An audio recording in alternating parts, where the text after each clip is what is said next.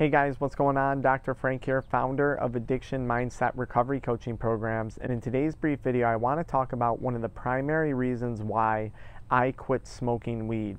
And that reason has to do with me being pro cannabis, pro 420, and the respect that I have for the cannabis plant. Here at Addiction Mindset Recovery Coaching, we help people quit nicotine, THC, energy drinks, and adult media content. So be sure to subscribe to the channel if you enjoyed today's video. Many of you know who have been watching this channel for a long time that when I first started smoking weed, I truly enjoyed it. When I first started smoking weed, I truly believe there was benefit to it. But as I progressed in my relationship with weed, as I progressed on my weed smoking journey, eventually that relationship turned toxic and I began abusing the plant.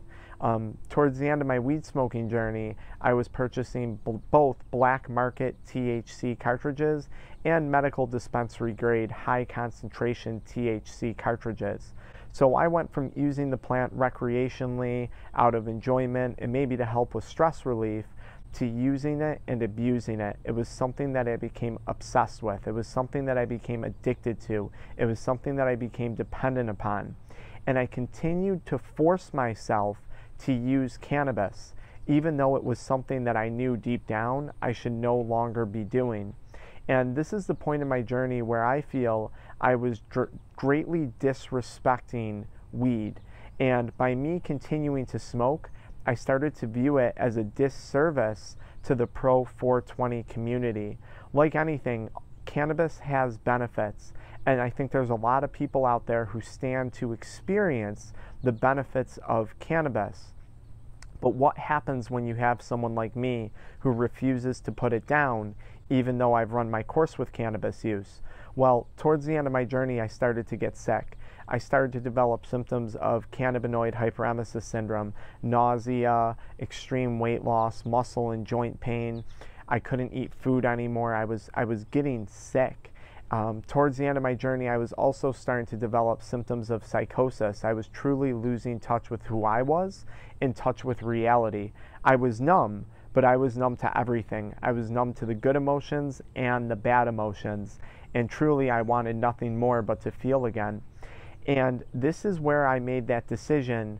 Listen, Frank, if you're really pro cannabis, if you really believe in the benefits of weed, you you have to allow other people to experience that.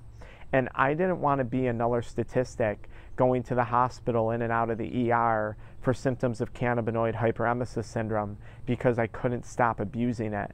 I didn't want to be another statistic that was involved, which I never did this, but that would ever be involved in driving while under the influence and getting into a car accident.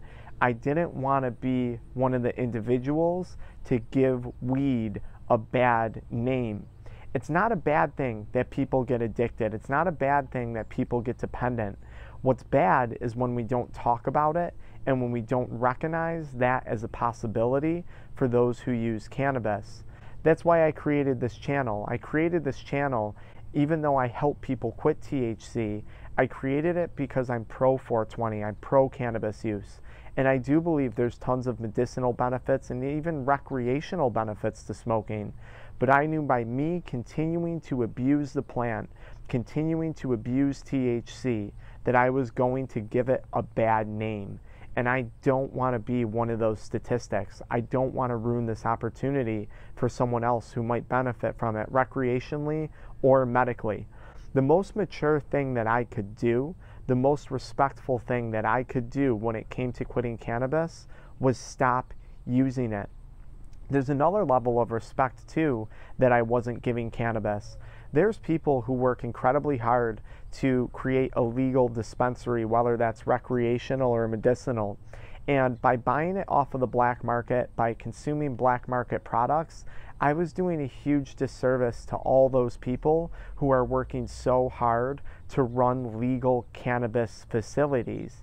I was also, in a sense, giving them a bad name because of the addiction that developed, right? Why does alcohol have a bad rap? Alcohol is actually toxic. I'm going to be blunt about that. But typically, we think of alcohol and the trouble and the bad things that it causes, right? Even though some people recreationally can have enjoyment with having a drink of alcohol. Um, I didn't want to be in that group of people when it came to the cannabis plant because I know there's benefits. I know there's people out there who deserve to experience it, and I was working against that movement by being part of it. I'm still very part of the pro 420 community. I'm still very part of the pro cannabis community. And I do that now by talking about the issues that may arise and providing resources to people who are struggling. Because stuff like this, this prevents the ER visits. This prevents people getting sick. This prevents people's lives falling apart because of cannabis use. The more we talk about it and the more we respect it as a plant and as a substance, the easier our transition into a pro cannabis um, demographic, a pro cannabis community, a pro cannabis nation is going to be. But if we don't talk about it and we live in denial, which is exactly what I was doing as the person who was addicted, we're doing cannabis a mass Jesus, we're doing cannabis a massive disservice. I'm outside, it's like 90 degrees, there's bees flying around, I'm sweating, um, but here I am shooting this video. I, I, do you guys understand the point that I'm trying to make? Let me know in the comments and let me know are you someone who's truly respecting weed? Because if you're in a position right now where you're noticing an addiction, where you're noticing bad behaviors revolving around your weed use, maybe it's time you you put action behind your words. If you're really pro 420 and you're struggling, maybe today's the day you quit. Maybe today's the day you reach out to our channel and you get the help you need. Maybe today's the day you talk to someone about it. I promise you, this is the best thing you can do to be pro cannabis. You don't want to be part of the problem when it comes to this. You want to be part of the solution. And talking about it and airing it out, that's how we get solutions to this stuff. Follow me into the next video where I give you guys some simple tips on how to start quitting using weed. I'll see you guys there.